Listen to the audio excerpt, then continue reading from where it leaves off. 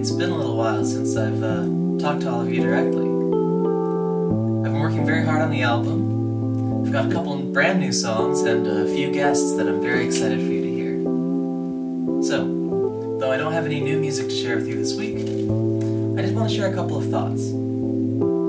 Things have been so strange and intense for so long now that it feels almost cliche to talk about. Hear so many references to our strange and uncertain times before it all starts to feel a little passe, despite the fact that, by any metric, things have only gotten stranger with time. It's a very isolating experience, and I felt my own thoughts kind of ferment, like they're sealed in a jar. And whenever I try to imagine what other people might be wonder how far my impression has drifted since we've become more disconnected.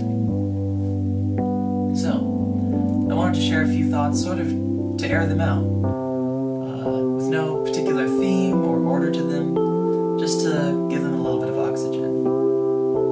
And maybe you'll find something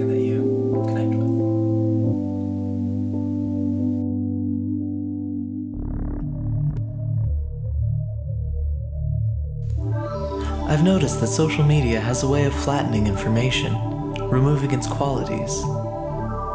Scrolling through Twitter or Facebook, you'll see hundreds of posts in an undifferentiated mass. A wedding photo, a bad joke, breaking news about a massacre, a piece of political commentary, a picture of a big dog. All these are compressed into little rectangles of similar size, given the same treatment. We know that some posts are trivial and some are important, but nothing about the format will clue you into which is which. They all scroll by just the same. Contrast that with a newspaper, with the big news on the front page and the funnies toward the back. Or television, which separates the cooking shows, news shows, and dramas into different channels. All these media forms have different ways of sorting and digesting information, tendencies that get imprinted on the audience. These days, I'm mostly concerned with social media, because this year especially, that's where a lot of people have started spending their time. I've noticed that the more time I spend on social media, the more my thoughts begin to blur, scrolling by without distinction, like a constant news feed. I lose my sense of proportion.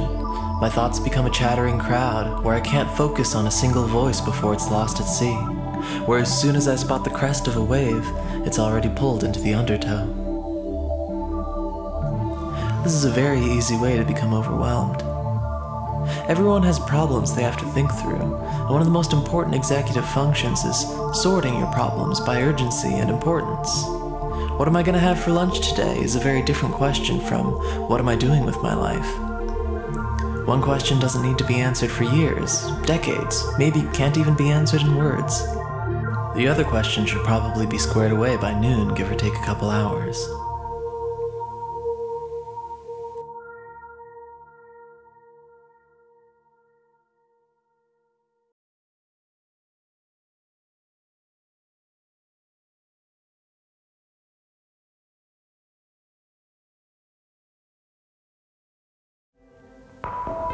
When I meet young people around my age, I often feel an immediate sense of kinship, no matter how different we may be.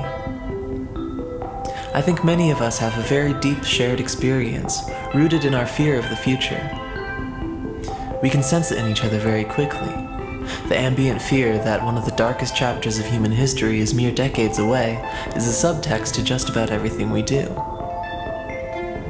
I think this is an especially paralyzing fear for a lot of artists. One of the most noble characteristics of art is that, in a world animated by utility and optimization, it has the audacity to be useless. But when the world so desperately needs to be changed, the thought of being useless doesn't sit well with many of us. At the same time, the act of making art resembles something like building another world from scratch.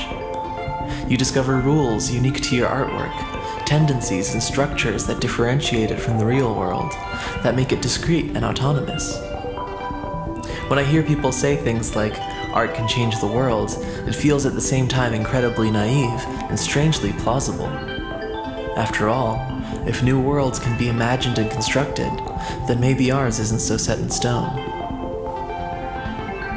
I spent most of my time in college looking for some intersection of music and politics, hoping that with enough digging, I could find some prescriptive method to take that would put my skills toward making a better future.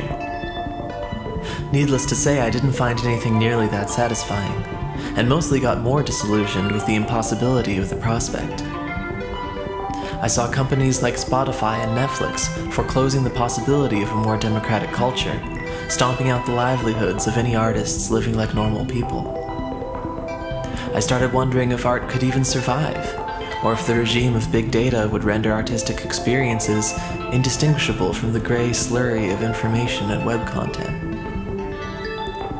But throughout this whole desperate search for purpose, I never stopped writing new music. Though I didn't have a compass to follow or a coherent reason to do it, I kept it up because I liked it. And at this point, it's just something that I do. Which is really as close to an answer as I ever got. I had been enmeshing myself in aesthetic arguments from another era, when workers had credible institutions that wielded real political power, and countries around the world were pouring state money into the arts. Since then, most truly democratic institutions have been annihilated, and most arts programs defunded. We're back at square one in a lot of ways.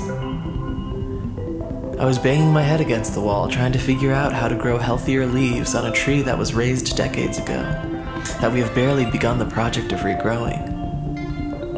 These days, I see the task of artists as more akin to building healthy soil those in power may succeed in making our crafts financially non viable, but I think it's of no small importance that we don't die.